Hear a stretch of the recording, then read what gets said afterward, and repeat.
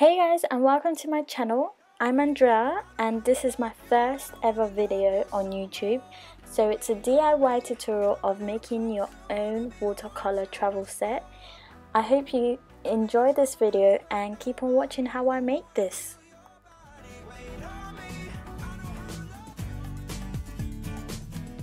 So let's get started.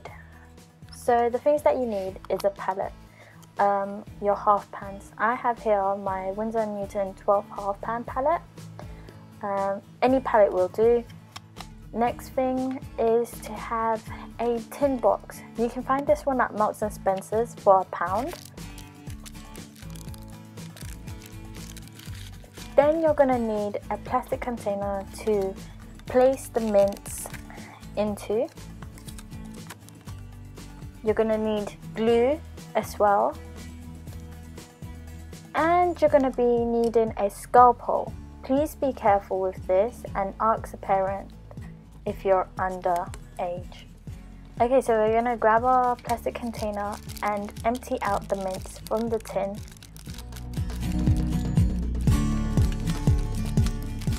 It gets quite fiddly, don't worry.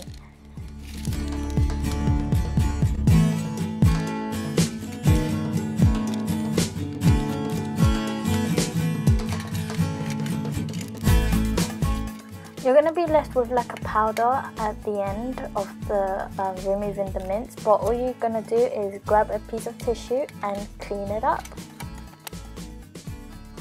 So that's one step done.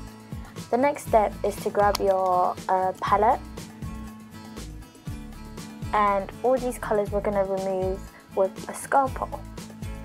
So we're just going to grab our scalpel and we're going to remove our half pans since I've been using this half pan, um, the the pans get a bit moist and sticky and they don't want to come out. So that's the reason why when using a scalpel. Please be careful. I did snap the tip of my scalpel. So yeah, just be careful. Sometimes um, you need to stab the insides of the pan for it to come out like in a second. See?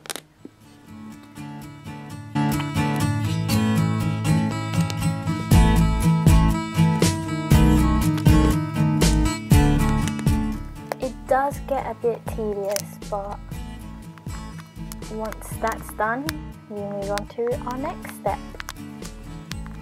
So once you have it empty, you can reuse your plastic palette for something else.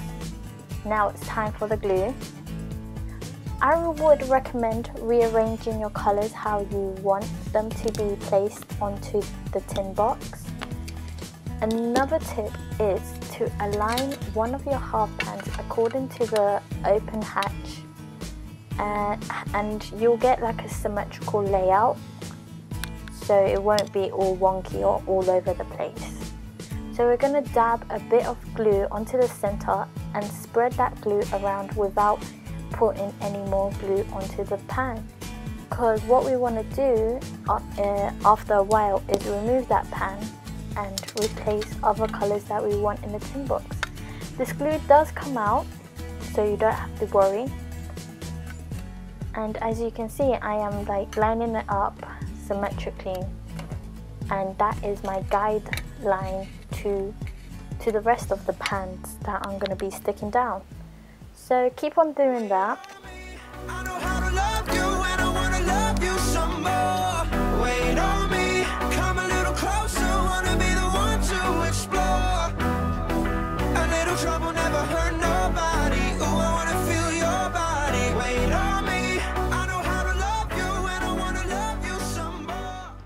So you're going to allow the glue to dry for 15 to 30 minutes and at this moment you need to press down firmly onto the half pans for them to attach to the tin and to dry as quick as possible.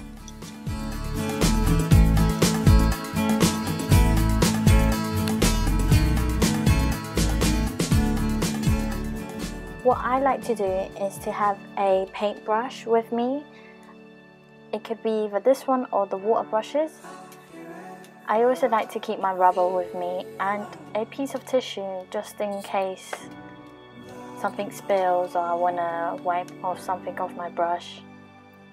Um, yeah, so get your sketchbooks, get out there, get inspired, and yeah, I hope you like this DIY tutorial.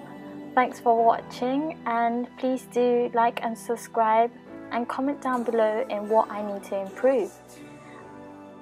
So thanks guys, have a great day. Bye!